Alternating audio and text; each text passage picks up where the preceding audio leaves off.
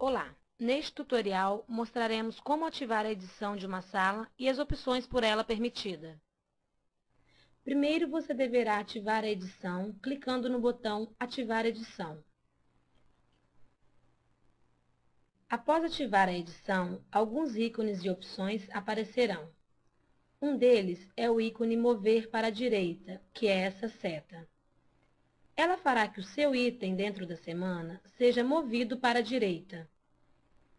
Veja que o item foi movido um pouco para a direita.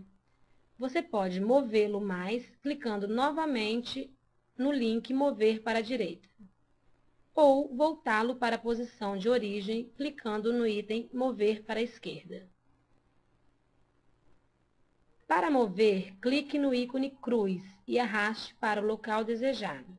Observe que aparecerá uma linha no local de destino.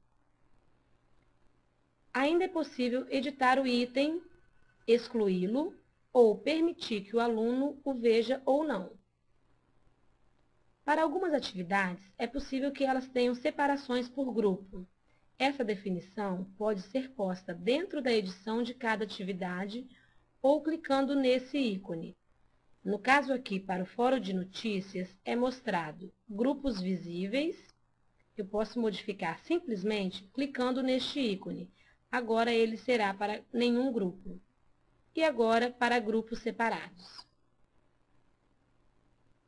É possível acrescentar recursos ou atividades em cada semana.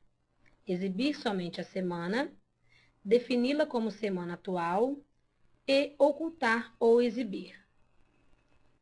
Após realizar as operações, você poderá desativar a edição. Para isso, pode clicar no botão Desativar edição.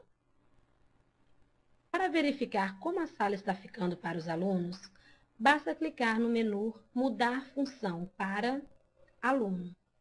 Essa opção permite ao tutor verificar como estão ficando as atividades na visão de um aluno.